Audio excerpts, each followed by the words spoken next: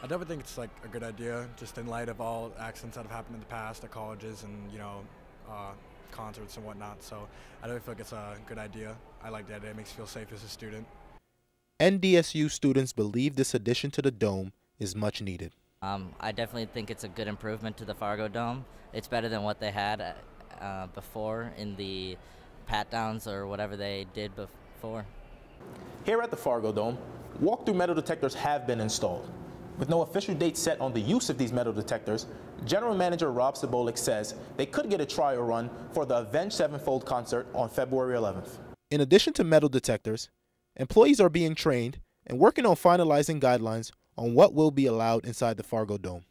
Before the Bison football season kicks off, or any other major events, General Manager Rob Sobolik plans to use metal detectors at smaller scale events. It's in an effort for anyone visiting the dome, artist or fan, to feel protected. Safety of, of not only the guests coming in, the, the performers, but also our employees is, is very important to us, so we, we take a lot of different measures. Seemingly the standard at many venues, items inside of large coats and sweaters will be placed inside bins right next to the detectors. As added precaution, handheld wand detectors will also be used, along with pat downs. Here's how it'll work.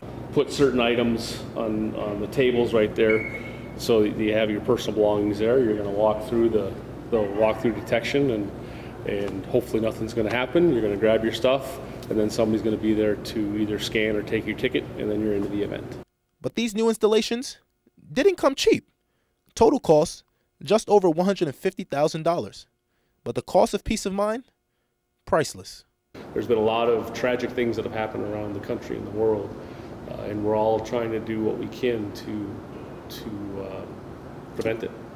In Fargo, Joseph Ojo, Valley News Live.